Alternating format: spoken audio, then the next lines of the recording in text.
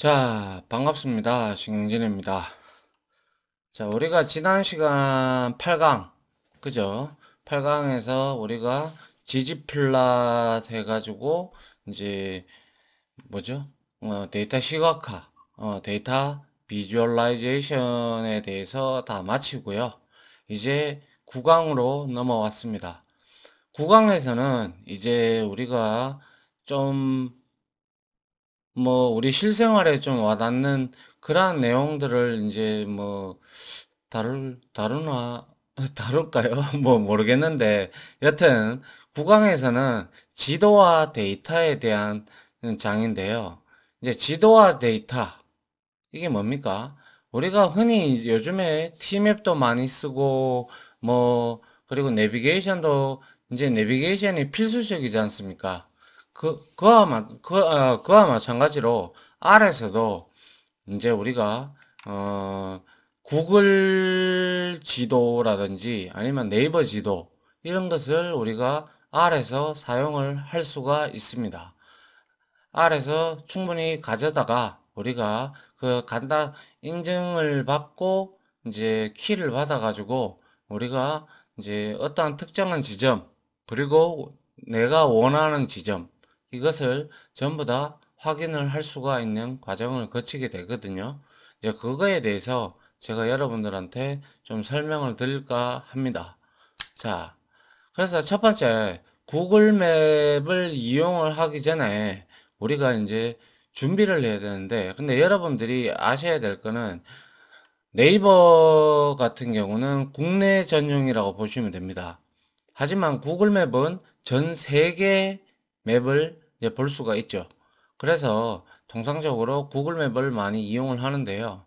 구글 맵을 이용하기 전에 각종 준비해야 될 것들이 좀 있습니다. 그거에 대해서 설명을 드리고 그리고 제가 이 구글 맵이 이제 실질적으로 왜 우리가 많이 쓰는지 그거에 대해서 여러분들한테 좀 설명을 드릴까 합니다. 아시겠죠? 자, 구글 맵을 한번 보시면 요즘에 어떻습니까? 지도 서비스가 상당히 중요하다, 그죠? 왜 그렇습니까? 뭐, 그쵸. 저, 저와 같이 길치가 있는 사람들, 이런 사람들이 있다면, 이제 인터넷이 발전을 많이 했죠, 그죠? 제가 공부를 할 때쯤에는 거의 뭐, 뭐, 여러분들 들어보셨는지 모르겠지만 모뎀 시절이었습니다. 모뎀 시절이었고 근데 요즘에는 전부 다 뭐 이제 1기가 bps 광랜 쓰고 그리고 이제 와이파이도 기본적으로 되고 뭐 지하철에서도 이제 와이파이가 되고 뭐 등등 하다 보니까 이제 인터넷이 많이 발전을 했죠. 그래서 지도 서비스는 이제 현대인이 현대인의 생활에 없어서는 안될 이제 거의 중요한 요소가 됐죠. 맞습니까? 여러분들도 많이 쓰지 않습니까? 그죠?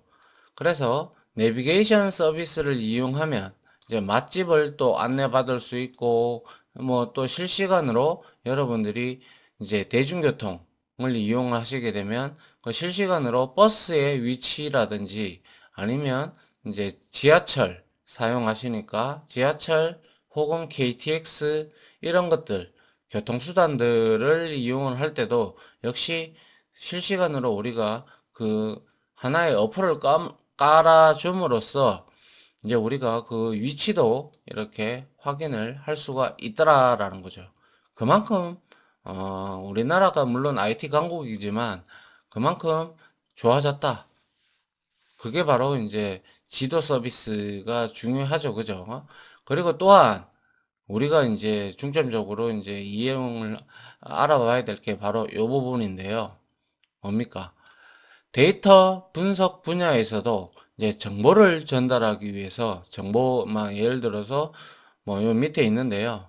캐나다 토론토 시내의 나무 종류 지도 이렇게 되어 있습니다. 그러면 캐나다에 어떠한 위도와 경도가 있지 않습니까? 그것을 이용을 해서 그리고 지명을 이용을 해서 우리가 이제 여기에 어떠한 나무들이 이제 종류가 나무의 종류들이 심겨져 있는지 그런 것들도 알 수가 있고 하물며 어 요즘에 북한 북한에 이제 그 뭐 풍계리도 나오고 뭐 이래가 음, 미사일 시험하고 그러지 않습니까?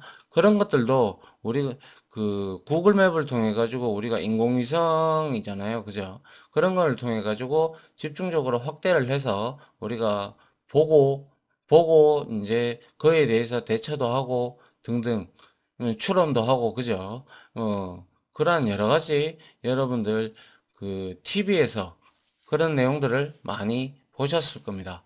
그래서 제가 이번 구글 맵을 이제 사용을 해가면서 우리가 이제 어떠한 지점 그리고 그 지점의 마커 그리고 뭐 이런 등 마커하고 뭐 텍스트 그리고 데이터 이런 것들을 이제 표식을 하기 위한 그러한 이제 예, 그러한 장 아, 그러한 그 방법에 대해서 이제 이번 장에서는 좀 알아보려고 합니다. 아시겠죠?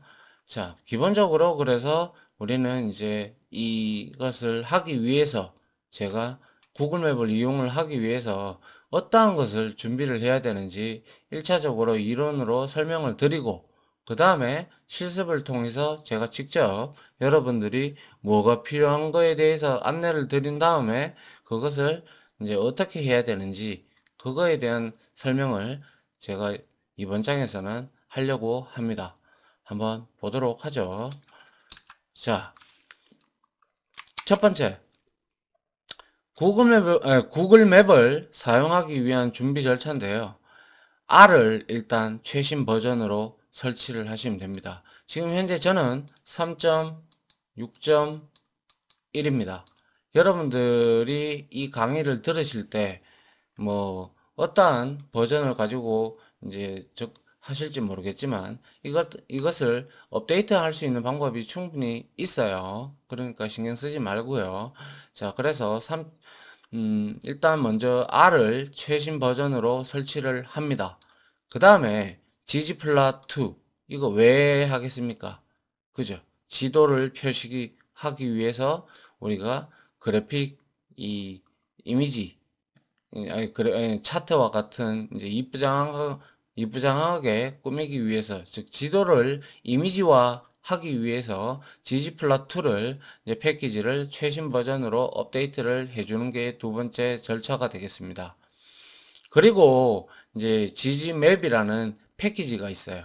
이걸 설치를 하셔야 여러분들이 구글 맵이든지 이제 가져다가 우리가 쓸 수가 있는 거죠. 그 다음에 이제 중요한 게 구글 맵을 사용하기 위한 API 키를 확보한다 이렇게 되어 있는데요. 이거는 개인적으로 직접 확보를 하셔야 됩니다. 왜냐하면 어, 물론 방법 다 가르쳐 드립니다.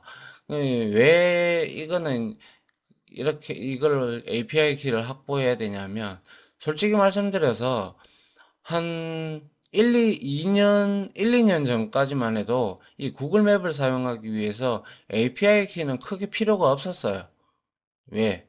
그냥 무작정 발급을 해줬거든요. 무작정 발급을 한 게 아니라 위도와 경도만 알았으면 우리가 지지맵에 있는 우리가 여러 가지 함수를 이용해서 가져다가 확대를 하, 어, 지도를 보고 그리고 그 지도에 대해서 데이터들을 우리가 얻어낼 수가 있었는데 이제는 구글맵 정책이 정책이 바뀌었어요. 그래서 자신만의 API 키, 즉 API라는 것은 함수를 사용할 수 있는 이제 그러한 음, 기본적인 내용인데요. 그이 키, 자기 자신이 이제 쓸 수 있는 키를 확보를 확보를 해야 됩니다.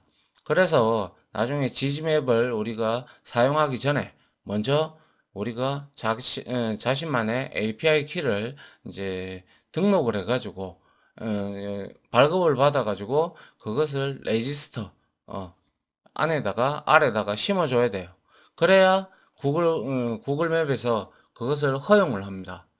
아시겠죠? 허용을 하기 때문에 여러분들도 역시 그러한 이제 제가 가르치 어, 이렇게 말씀드리는 방법대로 여러분들이 API 키를 얻으면 돼요. 단 API 키는 어 1년이에요. 유효기간이. 유효기간이 그러니까 공짜가 1년이고요. 그리고 이제 공짜 1년이 끝나고 나면 자동적으로 이제 유료 유료로 바뀌게 됩니다. 그러니까 여러분들이 공부하는 동안 1년 동안 공부를 만약에 한다. 아니면 1년 안팎으로 한다. 그러면 여러분들 이거 이제 계속 사용할 거면 여러분들이 지도와 관련된 이 작업을 하는 사람이라면 계속 써야겠죠. 그죠? 그럼 돈을 내야 돼요. 돈을 내야 되지만 어, 만약에 지도에 대해서 하지 않고 그냥 지도에 대해서 공부만 하고 끝낼 거다. 그러면 1년 안에 공부를 마치시고 그 다음에 어, 그 어, 결제되는 금액을 없애야 됩니다. 아시겠죠? 자, 그래서 최신 버전으로 이제 R을 설치하는데요. R을 설치하는 거는 쉽습니다. 어려운 건 하나도 없어요. 그냥 R, R의 최신 버전을 새로 설치하는 이유는 지도 서비스와 관련 패키지들을 계속해서 새 버전을 내고 있어서 이제 계속 지도 관련 서비스가 관련 패키지들이 계속해서 새 버전들이 나오거든요. 나와가지고 이전 버전의 R에서는 잘 작동이 안 될 수도 있어요. 물론 뭐 3. 지금 3.6.1 정도 수준에서 이제 버전은 계속 올라갈 거잖아요. 그죠? 계속 올라갈 거니까 여러분들이 이것을 어 R을 버전을 체크를 해 주시면 됩니다. 그래서 R을 새로 설치한 다음에 R 스튜디오에서 새 버전을 등록을 시켜 주시면 됩니다. 그래서 그거는 뭐 그렇게 어렵지 않습니다. 뭐 툴에 들어가서 뭐 글로벌 옵션에서 뭐 어쩌고 저쩌고 제너럴에서 우리가 이 부분을 건드려 주면 되거든요. 그래서 별로 어렵지 않습니다. 그냥 새로운 R 버전이 나왔다. 그러면 우리가 기존에 있는 R을 삭제를 하고 그 다음에 그 R을 설치를 해가지고 이 여기에서 우리가 바꿔주든지 뭐 이렇게 해도 무방합니다. 그러니까 크게 어려운 건 전혀 없습니다. 자, 그리고 두 번째 제가 말씀드렸듯이 GG 플라2 패키지를 업데이트를 한다고 했습니다. 요거는 지금 요 창은 우리가 그 파일 창 있죠, 그죠? 지도도 어, 이제 plot 창 거기에 보면요 업데이트라는 게 있어요. 그래서 지, 패키지를 찾아가지고 우리가 ggplot 찾아가지고 그냥 업데이트 누르기만 하면 됩니다. 그러면 ggplot2도 계속 업데이트를 하잖아요. 하니까 그 업데이트 되는 게 이제 우리가 체크를 해가지고 이제 업데이트를 누르시면 됩니다. 그러면 쉽게 업데이트가 완료가 되니까 신경을 크게 안 쓰셔도 될 것 같습니다. 그 다음에 이제 ggmap 패키지, install package 하시면 됩니다. 이렇게 하셔도 되지만 이렇게 하지 말고 우리는 코드로 칠 수가 있기 때문에 ggmap 패키지를 설치를 하시면 됩니다. 일반 패키지 설치하는 거와 동일합니다. 아시겠죠? 그렇게 설치를 하시고 그 다음에 이제 우리가 해야 될 게 뭡니까? 그죠? 이게 가장 중요한데요. 구글 맵을 사용하기 위해서 API 키를 우리가 얻어야 되는데요. 구글, 맵, 에, 구글 맵을 사용하기 위해서는 사용자 프로그램과 구글을 연결하는 데 있어서 API 키, 어, 내가 이거 쓸 거야. 그 왜냐? 유료니까 그렇죠. 이제 1년은 공짜로 주지만 이제 1년이 지나면 유료로 바뀌니까 API 키를 API 음, 키가 필요하게 됩니다. 이거는 구글 정책이 바뀌면서 새로 생겼어요. 알겠죠? 그래서 API 키를 얻으려면 반드시 구글 계정이 있어야 됩니다. 구글 계정 다 가지고 계시잖아요. 그죠? 예, 지메일이라든지 뭐 이런 것들 그죠? 예, 가지고 있어서 그래서 먼저 구글 계정으로 로그인하고 난 다음에 아래와 같은 과정을 우리가 이제 따르면 되는데 여기가 바로 클라우드 이제 구글이라고 해가지고 거기에 들어갑니다. 물론 URL 뒤에 다 있으니까 제가 설명을 드리겠습니다. 그리고, 그리고 난 다음에 이 지도, 그리고 경로, 지역 정보, 이런 식으로 체크를 하고 계속을 누르시면 될 것 같아요. 아, 됩니다.